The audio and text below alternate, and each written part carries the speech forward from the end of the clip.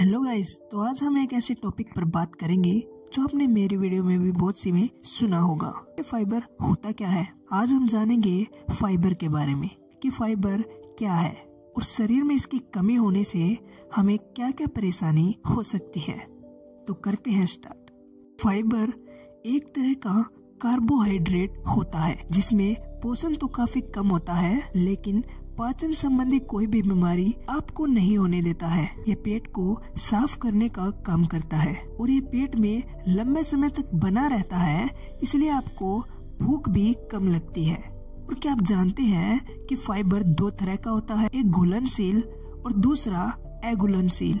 घुलनशील फाइबर वो होता है जिसमें जोए सैम या फ्रूट्स पानी में आसानी से खुल जाते हैं। यह शरीर में एक गाढ़ा जेल बनाता है, जो कोलेस्ट्रोल को कंट्रोल करने का काम करता है। और इसके अलावा यह ब्लड शुगर, डायबिटीज़ के मरीजों के लिए भी काफ़ी फ़ायदेमंद होता है। और बात करते हैं एगुलनसिल फाइबर की। एगुलनसिल फाइबर में गेहूँ नट्स और बहुत सी वेजिटेबल्स आती हैं, जो पानी में खुलते नहीं हैं, क्योंकि इसकी संरचना मोटी और खुरदरी होती है। और क्या आप जानते हैं कि हमें फाइबर एक दिन में 38 ग्राम तक लेना चाहिए, जो लगभग तीन कटोरी दलिया के समान है।